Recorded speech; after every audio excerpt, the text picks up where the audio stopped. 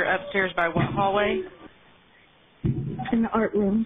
Art room. Yes, please hurry. I'm hearing you. There. This morning, chilling new 911 calls from inside the Covenant Christian Elementary School capturing the terror this week from the mass shooting. One teaching assistant huddled in an art room closet with several young students. Jess, I hear another shot. You did? I'm hearing more shots. Okay. Okay. We're upstairs by the art room hallway.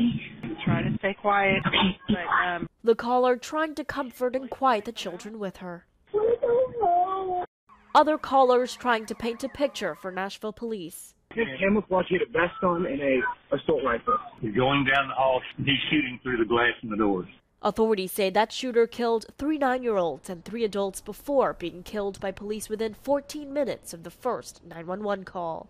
The horrifying moment sparking protests at the Tennessee state capitol, parents and their children rallying for stricter gun control. The goals change.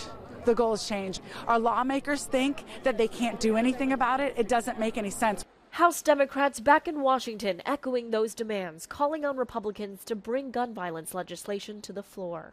The children of this country are demanding action. Our classrooms have become killing fields.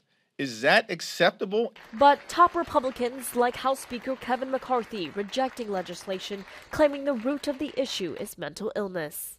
I don't think one piece of legislation solved this. We got to deal with mental illness.